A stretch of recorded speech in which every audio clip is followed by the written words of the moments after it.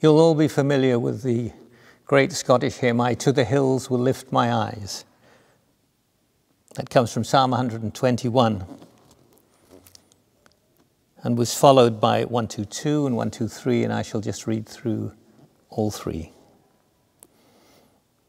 I lift my eyes up to the hills. Where does my help come from? My help comes from the Lord, the maker of heaven and earth.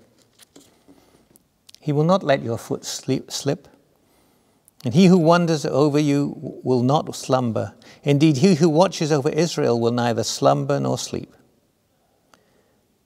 The Lord watches over you. The Lord is your shade at your right hand. The sun will not harm you by day, nor the moon by night. The Lord will keep you from all harm. He will watch over your life. The Lord will watch over your coming and going, both now and forevermore.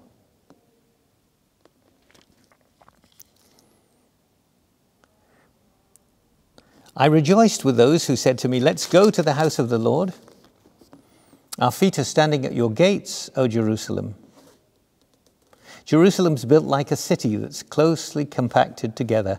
That's where the tribes go up, the tribes of the Lord, to praise the name of the Lord according to the rule given to Israel. There the thrones for judgment stand, the thrones of the house of David.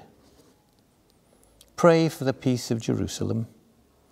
May those who love you be secure. May there be peace within your walls and security within your citadels. For the sake of my brothers and friends, I will say, Peace be with you.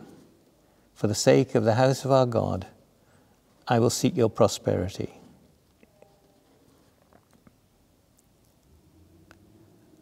I lift up my eyes to you, to you whose throne is in heaven.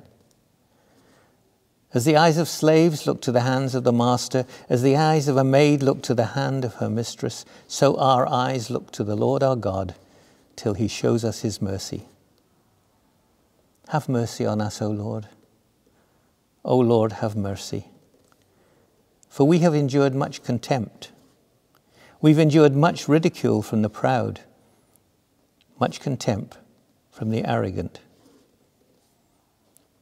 Our help is in the name of the Lord, the Maker of heaven and earth.